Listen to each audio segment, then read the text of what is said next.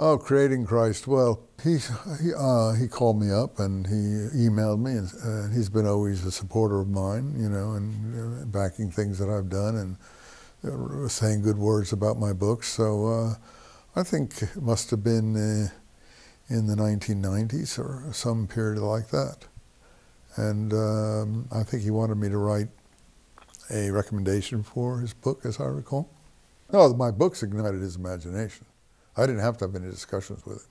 I don't think we ever talked and ignited each other's, you know, he read my books. I think I already had expressed that idea in, in, in the book here. I mean, basically, I mean, that's what we're talking about. We talk, we're talking about a Roman imperial Messiah, Ab absolutely. And uh, I think that flows right out of my books into his, yeah. In fact, I never thought there was a gap at all. And I was pleased that he did give me a few references, which I thought was nice. Well, that's, that's a reasonable thesis. But um, as I said, I really didn't discuss these things directly with James.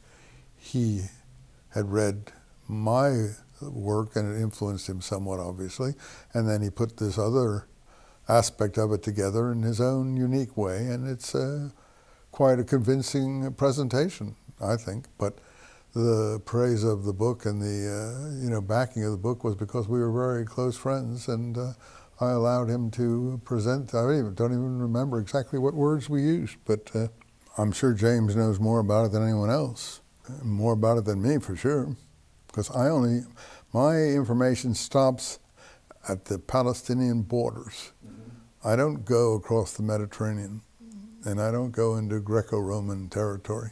I'm only, like the scrolls go eastward into northern Syria and places like that. I go there, I go down into Arabia, but I don't go east into, or west rather, into Gaul, Rome, you know, Greece, and other associated places, Spain, Germany, and so on.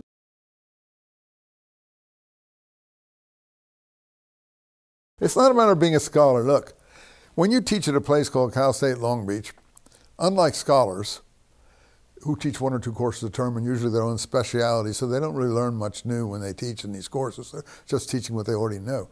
Cal State, Ronald Reagan, bless his or not bless his soul, inflicted upon our faculty four courses a term by state law, eight courses a year.